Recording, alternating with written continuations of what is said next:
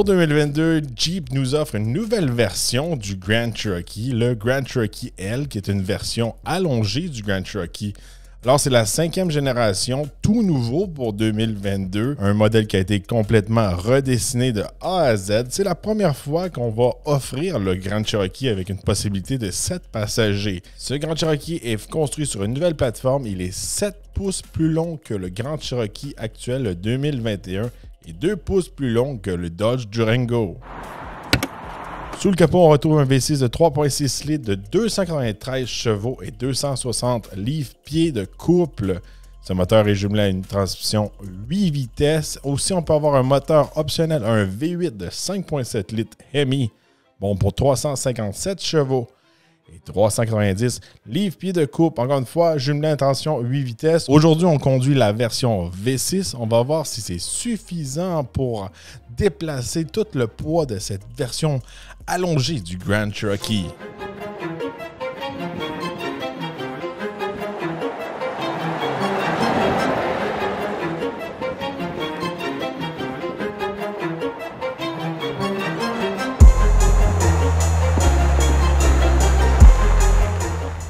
On va tester l'accélération. On a le V6 sous le capot, on va voir si c'est suffisant euh, pour le gabarit du véhicule. Quand même un gros véhicule.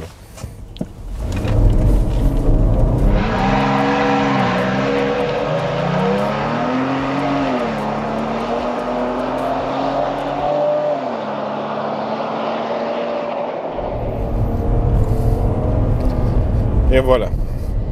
Bon. Pas C'est pire. Normal, c'est normal comme chiffre, euh, je pourrais dire comme temps. C'est quoi sur papier?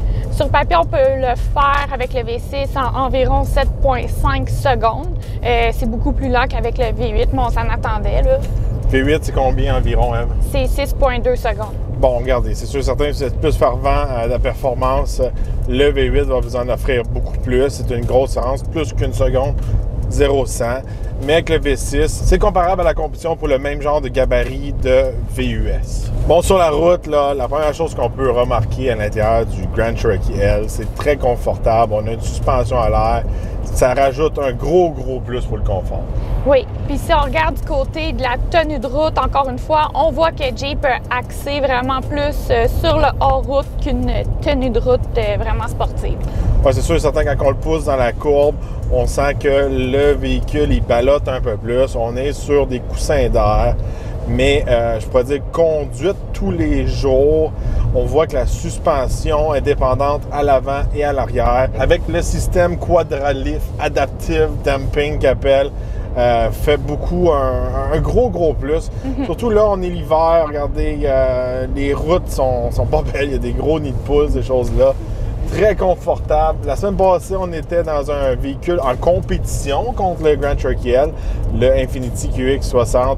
On va se dire, c'est le jour et la nuit Oui. entre ces deux produits-là. on est comme sur un nuage dans le Grand Cherokee. Oui, vraiment. Pour 2022, le Grand Cherokee a été complètement redessiné. On l'a vraiment modernisé, mais c'est quand même très facile à reconnaître. On le voit que c'est un Grand Cherokee L quand on est sur le chemin. On a la grille iconique Jeep à l'avant. On a euh, les deux tons, donc le toit d'une autre couleur. Je trouve ça très beau. Une chose que j'ai remarqué cette semaine, euh, les, sorties d'échappement à l'arrière, je dirais qu'elles sont un peu mal finies. C'est vraiment un gros trou. Mais on voit dedans euh, un peu le, le tuyau qui sort, là. On le voit vraiment à l'œil, là, que c'est un rajout, là. Ouais, je sais pas pourquoi ils coupent tout le temps là-dessus à cette Ouais. heure. Là. Euh, camion très beau en général, comme tu précises. Euh, le deux tons fait un petit peu style Wagoneer. Mhm. Ça remonte le luxe. Un peu comme pour le Grand Wagoneer, pour la version américaine, on retrouve des drapeaux américains. Euh, pour le Canada, on n'a juste aucun drapeau sur le véhicule. Ouais, c'est des petits détails pour le Canada qu'on a remarqué. Mais en général, moi, je trouve que c'est un véhicule très bien réussi, Oui. même si on a la version allongée. Des fois, quand on fait une version allongée, on défait un petit peu les lignes du véhicule. Ouais. Mais c'est pas le cas pour le Grand Cherokee.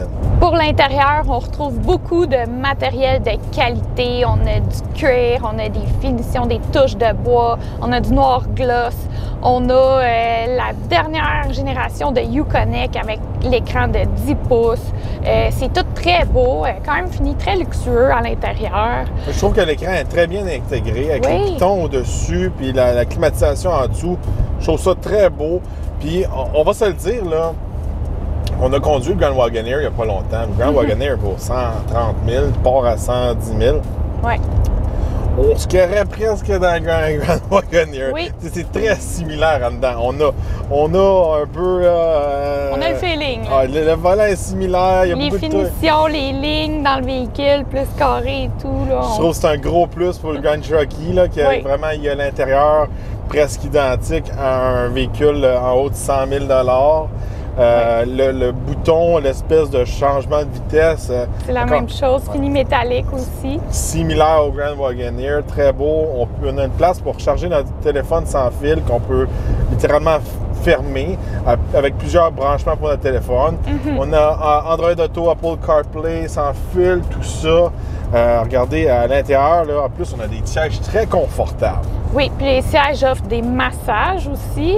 Euh, on peut tout contrôler. Puis ça, on peut contrôler, c'est important de le dire, autant avec les boutons tactiles que des vrais boutons. Fait que, que vous ayez un ou l'autre, vous allez être servi dans le véhicule. On a des très bonnes caméras de haute qualité. Oui. Euh, on a même une espèce de windshield washer pour les caméras, tout dépendant des, options qu'on a sur le véhicule. On retrouve aussi la fan cam dans le véhicule, donc on peut voir les enfants à l'arrière euh, partout dans l'écran. Très pratique pour faire la surveillance euh, des bébés ou des enfants tannants. Et pour euh, 2022, on retrouve le système de son Macintosh dans le Grand Cherokee L. Fait que la même marque, encore une fois, qu'on retrouve dans le Grand Wagoneer, un petit peu moins d'haut-parleurs dans celui-là. mais Un système de son qui fait très bien la job. Oui. Dans la deuxième rangée, on peut accueillir euh, au total dans le véhicule entre 6 à 7 passagers. Bon, il y a deux configurations. On peut avoir soit les sièges capitaine dans la deuxième rangée avec une console, ou comme la configuration qu'on a cette semaine avec la banquette. Là, on peut rentrer trois dans la deuxième rangée.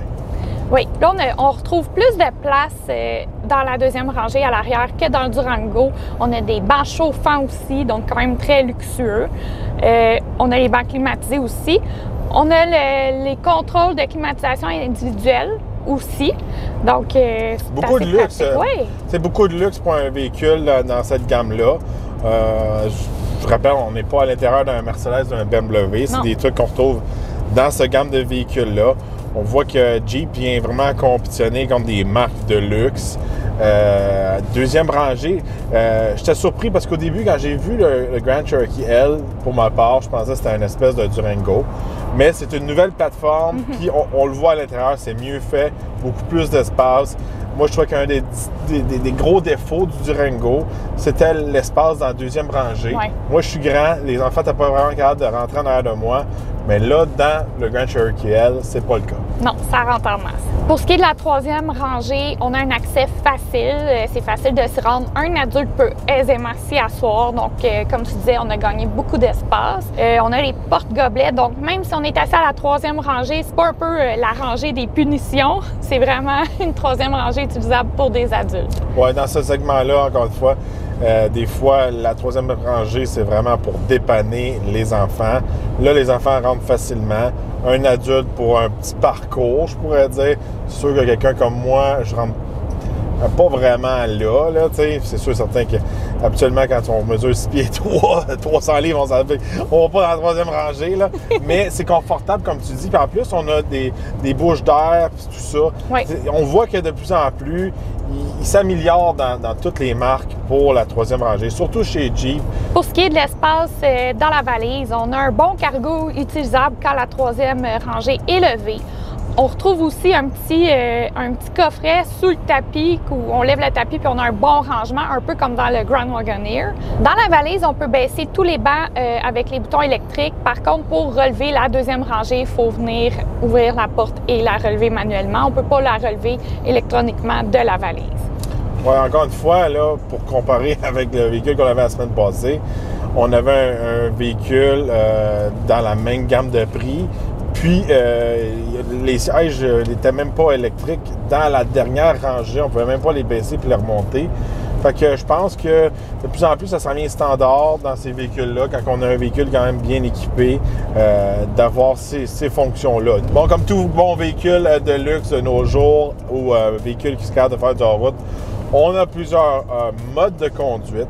Euh, puis dans le Jeep Grand Cherokee, on a auto, sport, neige, on a euh, sable et boue et roche. De ce côté-là, moi, je trouve qu'il manque un, ou deux modes, à mon avis, à moi. Il manque euh, littéralement un mode remorquage, puis il manque un mode deux roues motrices. Mais c'est un Jeep, il est toujours en quatre roues motrices. C'est comme ça, les, les, Jeeps. On a bien sûr aussi un 4x4 low parce que c'est un vrai 4x4. On est, c'est, fait pour faire du hors-route. C'est pas seulement un système intégral, c'est un vrai 4x4. En plus de pouvoir changer nos modes de conduite, on peut aussi changer la hauteur de la suspension. Alors, euh, quand on est en mode hors-route, il y a deux modes hors-route jusqu'à une certaine vitesse. Ils appellent ça off-road 1, off-road 2. Le véhicule peut monter de beaucoup. Même là, cette semaine, quand on filmait, Eve était choquée avec moi parce qu'à chaque fois qu'elle rentrait dans le véhicule, je faisais exprès pour monter le véhicule, pour qu'elle ait la difficulté à remonter dans le véhicule. J'étais pas choquée, mais le véhicule monte assez haut pour que ça fasse une bonne différence. Au début, j'embarquais dedans, puis là, moi, je l'avais pas remarqué. J'étais avec toutes les caméras à l'extérieur. Lui, il monte le véhicule. J'étais comme, je suis plus capable d'embarquer. Puis là, j'essayais de me pogner après la barre de la chicken bar qu'on appelait quand j'étais petite. Mais en tout cas, il monte assez haut, c'est quand même impressionnant. Sur l'autoroute, le véhicule va se rabaisser pour être euh, plus aérodynamique. Aussi, euh, on peut le mettre en mode débarcadère pour faciliter l'entrée et la sortie du véhicule. Euh, je trouve que c'est un gros plus. cette semaine, je l'ai utilisé aussi la suspension quand j'étais allé à Montréal. C'est rare, je vais à Montréal. J'ai été obligé d'aller dans un espèce de parking souterrain. J'ai fait sûr que la suspension était au niveau le plus bas que je pouvais le mettre en roulant. Comme ça, je pouvais m'assurer que le véhicule rentrait dans le stationnement souterrain. ça, c'est un gros plus quand on a un véhicule en route, parce que habituellement, quand on a des véhicules comme que j'avais auparavant, mettons mon Sierra T4, qui était lifté de 2 pouces et demi, mais dans le parking où je suis allé me stationner, j'aurais pas été capable de rentrer. Là, on a le meilleur des deux mondes. On peut le, le stationner dans un stationnement souterrain, mais on peut aussi euh, passer par-dessus une grosse branche de bois d'entraide en montant la suspension. Je trouve ça fantastique. Du côté du remorquage, avec le V6, on peut remorquer jusqu'à 6200 livres quand même. Et avec le moteur V8, 7200 livres, donc 1000 livres de plus avec le V8. De ce côté-là, il domine carrément. Euh, c'est parmi les leaders dans le segment. Même avec le V6, habituellement, euh, la grosseur de ces véhicules-là sont topés à 5000 livres. Là, on voit qu'ils repoussent un peu euh, de plus en plus dans les 6000. 6200 livres, je trouve ça beaucoup pour le V6. Je pense qu'il y en aurait un petit peu plein son casse d'avoir un, 6200 livres en arrière, là, en plus d'amener euh, tout le poids du véhicule. Je pense que si vous voulez remorquer, le V8, c'est un bon choix, puis sans faire un méga sacrifice euh, sur les performances quand on remorque. Puis aussi, côté économie d'essence, je suis sûr et certain, le V8, euh, quand on remorque, est plus économique que le V6. Mhm. En parlant d'économie d'essence, euh, cette semaine, avec le moteur V6, on a fait environ du 15 litres au 100 km. Ça, c'est route et autoroute combinées. Avec le moteur V8, on peut faire environ du 14 litres au 100 km, donc plus économique que le V8. Bon, il y, a deux défauts. Regardez, moi, je pense que le V6, euh, il est fait plus pour la ville. il est un petit peu... Euh, il n'y a, pas, a pas assez de power pour amener le, véhicule. Mhm. Quand on monte les, les côtes, je le vois qui se tient haut en, révolution. Je vois a des fois, il y a de la misère à performer. Il est bruyant aussi. On voit que le moteur, il travaille fort pour emmener le véhicule. Il est lourd. Et de ce côté-là, euh, les chiffres V8 que j'ai vus, c'est des chiffres que j'ai vus en ligne. Euh, c'est similaire à nos chiffres, 14-15, peut-être la même chose en hiver. Le 14 mm. litres, c'est un peu en condition euh, au sud des États-Unis. Mais le, défaut des Jeeps, c'est qu'ils consomment. Regardez, 15 litres pour ce gabarit-là, euh, c'est pas bon, on va se le dire. Là. Euh, c'est pas horrible, mais c'est pas bon. Euh, je pense que si vous faites beaucoup d'autoroutes, le V8 va être plus économique sur la long run, je pourrais dire. Un des défauts des Jeeps, mais c'est qu'est-ce qui fait le Jeep, c'est qu'on peut pas le mettre en deux roues motrices. Peut-être si on serait capable de le mettre en deux roues motrices, comme n'importe quel autre véhicule normal, je, pense qu'il serait capable de descendre peut-être de 1 ou 2 litres.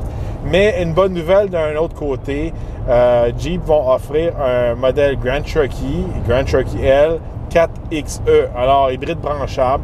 Euh, on va être capable de faire environ 50 km sur la batterie en mode électrique. Fait que de ce côté-là, je pense qu'on va être capable de descendre en moyenne, je pourrais dire, tout en demandant comment on utilise notre énergie, tout ça, puis notre fréquence qu'on recharge, mais on l'a vu avec le Jeep Wrangler 4XA. On était capable de descendre dans le 9-10 litres. Puis, il consomme. Le, le moteur consommait toujours autant qu'un Grand Cherokee à cause que le différentiel était plus gros, les roues étaient plus gros. Fait que si on se fie à ça, on peut tomber dans du 10 litres au 100. De ce côté-là, c'est intéressant pour avoir un, un- un Jeep Grand Cherokee plus économique. Du côté des prix, on peut entrer dans un modèle Grand Cherokee L à partir de 52 495 et le modèle qu'on a laissé cette semaine est de 80 665 Bon, on a un milieu à peu près en milieu haut de gamme. là. C'est un, modèle Overland. C'est certain que le modèle qu'on a aujourd'hui, à mon avis, à moi, est un petit peu mal monté. là. Il y a trop d'équipement, puis il manque le V8 dedans. Je pense que côté équipement, on est capable de faire des sacrifices, puis on peut peut-être opter pour le V8. Je pense que le V8 vaut la peine.